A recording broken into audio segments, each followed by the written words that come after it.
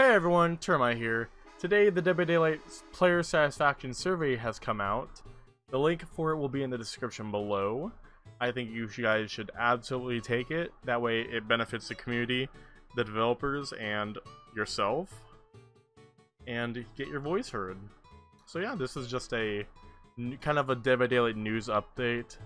Uh, I didn't know that this came out until later today. So yeah, I'll see you guys in the next video. Bye!